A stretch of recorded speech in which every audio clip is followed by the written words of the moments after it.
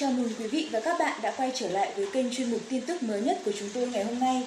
Mong rằng quý vị sẽ nhận được những thông tin hữu ích nhất. Thành phố Hồ Chí Minh ghi nhận thêm 2 ca tử vong vì Covid-19. Có hai bệnh nhân tử vong hiện đều đang được điều trị tại thành phố Hồ Chí Minh. Người đầu tiên là nam ở tại Bình Tân 77 tuổi đã mắc nhiều bệnh trước đó như tăng huyết áp và di chứng sau tai biến.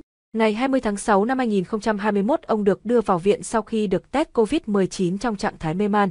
Dù đã được cấp cứu nhưng do tuổi cao và có tiền sử bệnh nặng nên ông đã không qua khỏi. Người thứ hai cũng là nam 54 tuổi ở tại thành phố Hồ Chí Minh. Ngày 15 tháng 6 năm 2021 ông có biểu hiện ho, khó thở. Ngày 19 tháng 6 năm 2021 ông đi xét nghiệm và biết bị nhiễm COVID-19. Ông được đưa đi bệnh viện Trưng Vương vào ngày 24 tháng 6 năm 2021. Sau khi vào bệnh viện ông được bác sĩ điều trị hồi sức tuy nhiên do cơ thể mắc nhiều bệnh lý trước đó nên không đáp ứng được dẫn đến qua đời vào ngày 26 tháng 6 năm 2021. Từ đợt dịch lần thứ 4 đây đã là ca thứ 42 và 43 tử vong.